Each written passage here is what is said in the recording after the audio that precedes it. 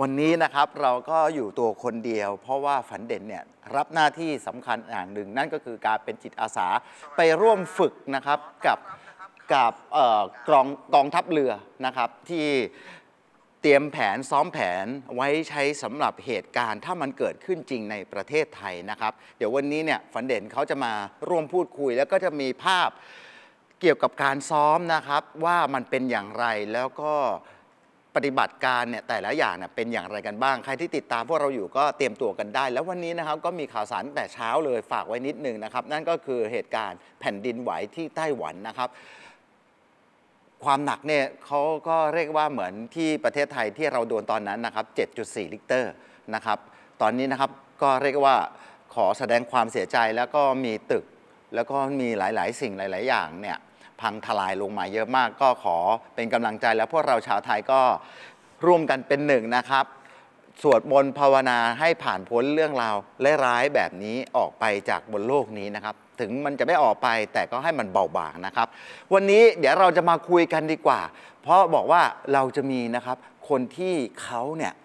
เหมือนประสบอุบัติเหตุแล้วถอดจิตไปท่องสวรรค์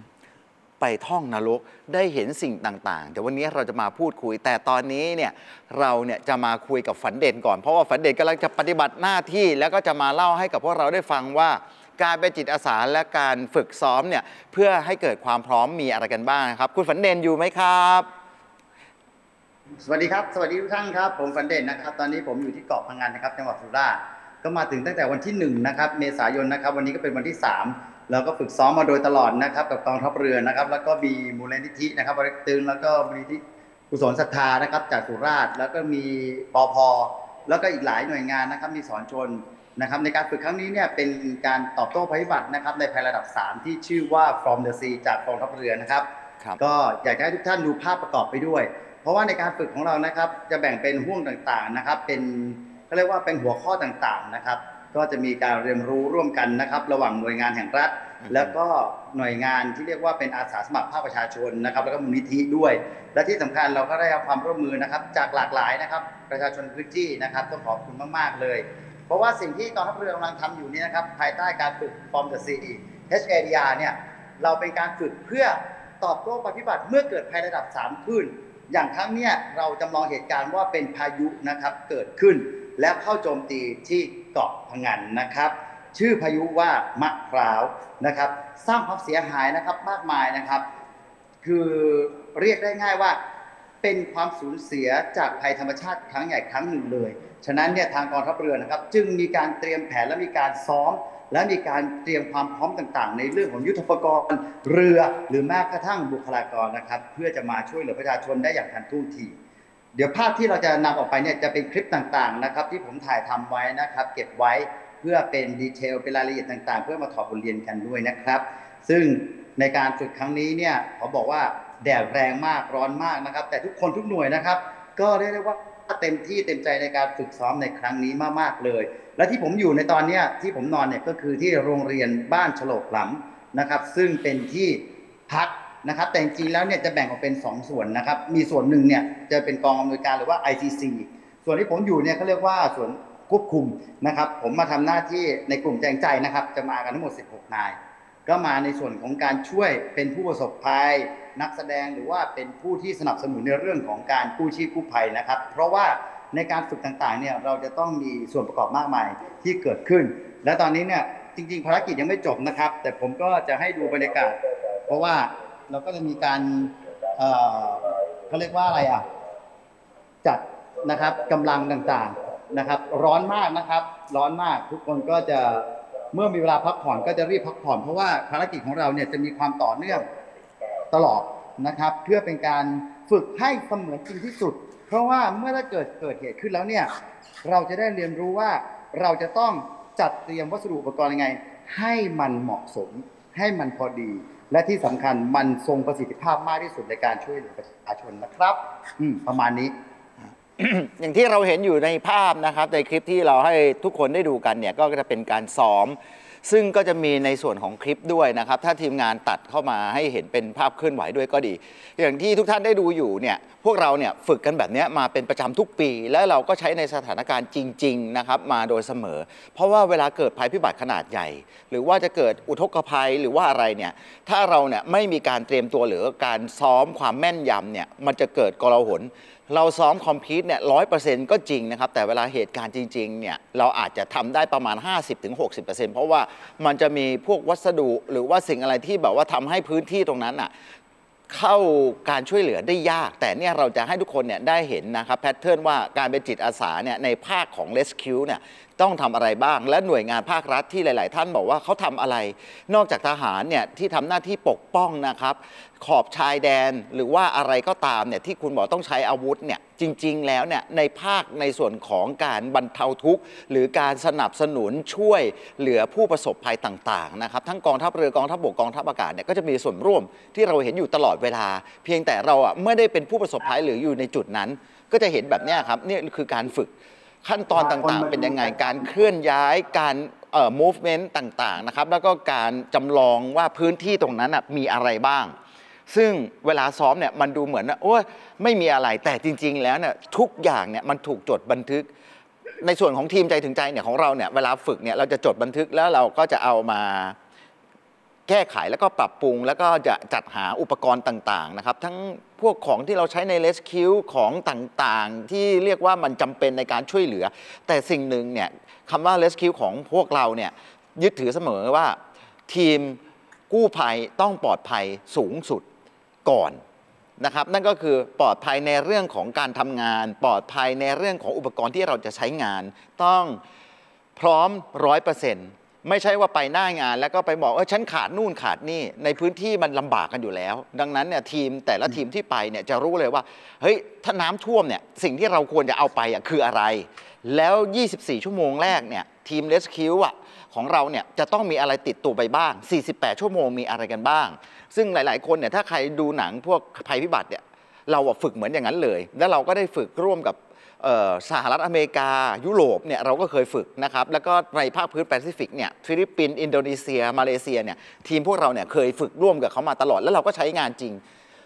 เขาบอกว่าประเทศไทยเนี่ยน้อยครั้งมากที่จะเกิดเหตุการณ์ใหญ่ ๆ แต่ในช่วงชีวิตเนี่ยในเอาแค่ช่วงระยะเวลา 10 ปีมาเนี่ยคุณเห็นไหมล่ะว่ามันเกิดเหตุการณ์อะไรกันบ้างนั่นแหละมันเลยทำให้พวกเราเนี่ยฝึกซ้อม แล้วก็เป็นจิตอาสาแบบอยากจะทำแล้วก็ทำให้ถูกต้องตามหลักสากลแล้วก็ ให้คนที่ประสบภัยเนี่ยได้กลับสู่อ้อมอก หรือเข้าสู่ที่ปลอดภัยแบบดีที่สุด จะไม่นำความเดือดร้อนให้กับใคร ตอนนี้เล็กต้องต้องฝึกอีกกี่วัน ก็เดี๋ยวฝึกวันนี้ยังมีช่วงค่ำอีก แล้วก็มีพรุ่งนี้ทั้งวันแล้วก็วันที่ห้าอือฮึฉะนั้นเนี่ยเดี๋ยวอาจจะให้ทางน้องๆรายการเนี่ย เปิดภาพที่ส่งไปให้ดูแล้วกันแล้วใหญ่ก็บรรยายต่อเพราะว่าเดี๋ยวจะต้องรีบไปต่อแล้ว โอเค นั้นเดี๋ยวเราจะให้ดูดูคลิปนะครับที่ฝันเด่นส่งมาให้ เพื่อจะให้ทุกคนได้ดูกันด้วยว่าบางบางคนเนี่ยผมอ่านในคอมเมนต์บอกว่าอยากจะให้พูดถึงการเตรียมความพร้อมหรือว่าการเอ่อจะต้องทำอะไรบ้างนะครับในเขตภัยพิบัติ ซึ่งตัวผมเนี่ยถ้าสมมติว่าคุณเป็นพลเรือนนะครับแล้วก็อยู่ในพื้นที่เสี่ยงภัยอยู่แล้วเนี่ยเป็นประจำหรือว่าเราเนี่ยก็ควรจะเตรียมความพร้อมว่าเพราะว่าบางทีเนี่ยถ้าไม่เกิดเหตุแบบคาดฝันนะ เอาแบบเหตุที่เกิดเป็นประจำฤดูกาลก็คือฝนตกน้ำป่าไหลหลาก พวกนี้คือเราก็ต้องเตรียมไว้ว่า เอ้ย ยารักษาโรคเบอร์โทรศัพท์นะที่ที่หลบภัยที่หนึ่งที่หลบภัยที่สองอย่างเงี้ยจะเป็นอย่างนี้มากกว่า โอเคนั้นเดี๋ยวขอบคุณฝันเด่นก่อนนะ เพราะฝันเด่นกำลังจะเข้าปฏิบัติการฝึกในรอบภาคกลางคืนนะครับ เดี๋ยวเราจะให้ดูภาพอันนี้แล้วจะบรรยายให้ฟังนะครับ ว่าสิ่งที่เกิดขึ้นเนี่ยเป็นอะไรกันบ้างนะครับ ตัวเราเนี่ยถ้าเราอยู่ในพื้นที่เนี่ย เอกสารสำคัญเนี่ยควรจะใส่ซิปที่กันน้ำไว้ แล้วก็อยู่ในที่ที่เราต้องรู้ว่าอยู่ที่ไหน แล้วเวลาเกิดอะไรขึ้นเนี่ยเราจะได้เตรียมตัวออกมาได้ นี่เราพูดถึงอยู่ในพื้นที่เสี่ยงภัยนะ มันมีข้อมูลใน Google นะครับ คุณลองหาได้ว่าเอ้ยวิธีการเนี่ยเตรียมความพร้อมเพื่อออรองรับภัยพิบัติมันจะมีข้อมูลให้คุณเยอะเลย หรือว่าแม้กระทั่งอย่างที่ผมเคยพยายามที่จะทำให้ทุกคนได้เห็นก็คือ การดูแลคนสูงอายุในบ้าน การดูแลเด็กเล็ก เวลาโดนงูกัดควรทำอย่างไร หรือว่ากินอาหารติดคอ ผู้ป่วยติดเตียง ไฟช็อตเนี่ยคุณหาได้ใน Google นะครับ ก็จะมี แต่ว่าถ้าอยากจะเรียนรู้มากขึ้นเนี่ยมันก็จะมีเเขาเรียกว่าหน่วยพยาบาลฉุกเฉินเนี่ยในชุมชนคุณก็ขอความอนุเคราะห์ให้เขามาสอนคุณก็ได้ แต่อย่างในภาพที่เราเห็นอยู่เนี่ยมันก็คือการเตรียมการ ซึ่งหลาย ๆ คนบอกว่าทำไมเวลาเกิดเหตุใหญ่ ๆ เนี่ยทำไมทีมงานหรือว่าฝ่ายปฏิบัติการหน่วยงานราชการมันช้า มันจริง ๆ ไม่ช้านะครับ มันคือการเตรียมแล้วก็เช็คก่อนว่ากำลังพลเท่าไหร่ มันไม่ไม่นั้นเราก็จะเกิดเหตุการณ์ที่เราเรียกว่าไปช่วยแบบสเปะสปะ แล้วสุดท้ายเนี่ยคนเข้าไปช่วยเนี่ยทำให้เกิดความสูญเสีย แล้วก็เกิดความเดือดร้อนมากขึ้น เพราะว่าจำนวนคนเนี่ยมันเยอะ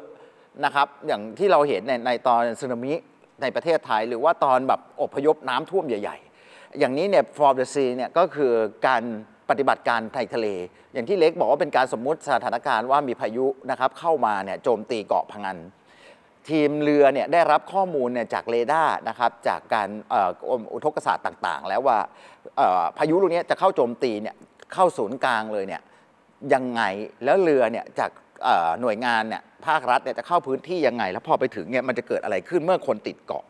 หรือว่ามีผู้ประสบภัยจำนวนมาก ก็จะมาทดสอบนะครับว่าเจอผู้บาดเจ็บอยู่ในน้ำลอยคออยู่ หรือเรือจมเนี่ยการช่วยเหลือเนี่ยจะต้องมีอะไรทำอะไรบ้าง หน่วยการแพทย์ของกรมกรมการแพทย์ทหารเรือนะครับ Search and Rescue เนี่ยจะทำงานอะไร นู่นนี่นั่นเนี่ยมันจะถูกลำดับขั้นตอน บางทีเขาบอกว่าเวลาทำงาน เอ๊ะทำไมคุณแบบยกขยงไปคนเจ็บคนเดียวอะนั่นแหละ มันคือทีมเวิร์กมันจะต้องมีหน่วยสอดประสานทำงาน มันไม่ได้เหมือนสมัยก่อน พอมันเกิดข้อผิดพลาดเนี่ยและยิ่งอยู่ในภาวะวิกฤตเนี่ยมันระบบสื่อสารเนี่ยมันถูกทำลาย เวลาถ้าเราอยู่คนเดียวไปช่วยเนี่ยแล้วมันเกิดอะไรขึ้นกับเราด้วยมันยากลำบากดังนั้นเนี่ยเขาจะมีหน่วยแบบว่าสื่อสารพลสื่อสารมีพยาบาล เวชศาสตร์ฉุกเฉิน มีกองอำนวยการมีฐานเนี่ยอันนี้ในสิ่งนี้ที่เราเห็น ถ้าคนในกรุงเทพเราอาจจะไม่เห็นในในรูปแบบแบบนี้นะครับ แต่ถ้าตามต่างจังหวัดตามเกาะแก่ง หรือว่าพื้นที่ที่มีเรียกว่าในภาวะเสี่ยงกับภัยพิบัตินะครับ คุณก็ได้เห็นการฝึกซ้อมอย่างนี้บ่อยๆ เรืออย่างที่เราเห็นอยู่เนี่ยเป็นเรือยกพลขึ้นบกเออเป็นเรืออ่างทอง เป็นเรือที่แบบว่าเออจะสนับสนุนจะมีห้องผ่าตัดอยู่บนเรือนะครับ จะมีลานจอดเฮลิคอปเตอร์ แล้วก็จะมีเรือเนี่ยเข้าไปใต้ข้างในเพื่อให้ ให้ขนย้ายนะครับผู้ประสบภัยจากทางเรือเข้ามาอยู่ในจุดนี้ได้ แล้วก็นำกำลังพลที่เป็นเลสคิวเนี่ยขึ้นสู่หาดได้ อันนี้จะเป็นเรือที่ใช้ปฏิบัติการนะครับ ตอบโต้ภัยพิบัติ อันนี้ที่เราเห็นอยู่ ซึ่งภายในอาจจะไม่ได้มาก นี่ก็มันจะ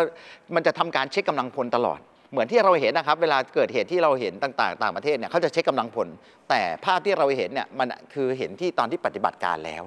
สิ่งที่เห็นทั้งหมดเนี่ยมันจะถูกเชื่อมโยง ในในสภาวะถ้าเกิดเรื่องจริง ๆ ซึ่งทีมใจถึงใจหรือว่าทีมกองทัพเรือ หรือว่าภาคเอกชนในเรื่องของเลสคิวที่เราฝึกก่อนเนี่ยเวลามีเหตุเนี่ยเราจะสามารถแพ็คแล้วก็ออกเดินทางเนี่ยให้ไปที่หมายเนี่ยรวมตัวณจุดที่ตั้งเนี่ยไม่เกิน 2 ชั่วโมง แล้วเราจะเคลื่อนตัวได้เลย แล้วเราจะมีชุด 1 ชุด 2 ชุด 3 ชุด A B C ไป อันนี้คือถ้าใครชื่นชอบในเรื่องพวกนี้ ก็สามารถนะครับลองดูในฝันดีฝันเด่นเก่าๆในในเพจนะครับก็จะมีการฝึกแล้วก็